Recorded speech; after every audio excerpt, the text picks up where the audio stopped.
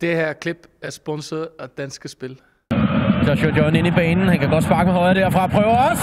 Og den ligger i mål. Der er mål til FC Nordsjælland. Joshua John. Godt ind i banen. Øh, selv en, en relativt hurtig spiller som Nørgaard kan ikke gøre noget, og den øh, er så langt op ad stolpen, som den kan være. Man kan måske gøre noget ved den, Lukas Radeski. Ja, det kan man vel altid, hvis man har hånden på, men, men netop det her angreb på ydersiden og holde det simpelt.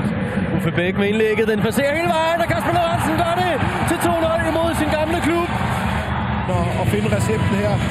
Gå til sit bedste kort, Uffe Bæk i overlappet, og så et øh, perfekt indlæg, som øh, Kasper Lorentzen øh, har nemt ved at, at sætte i nettet til, til 2-0.